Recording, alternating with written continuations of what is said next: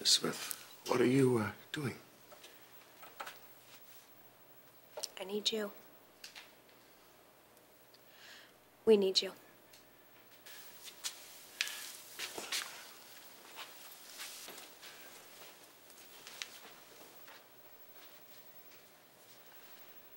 I cannot believe how much she has grown since I've seen her last.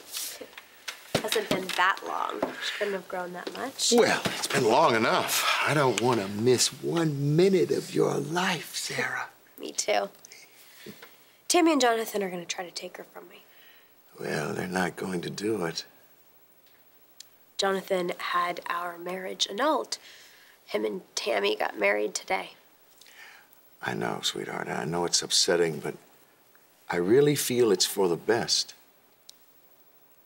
I had dreams, Granddad. I loved him. I, I know you did. I know you did. He's going to fight for full custody. And that's why you've come here. Come to me, huh? Help me. Help us. Do whatever it takes to keep her with us.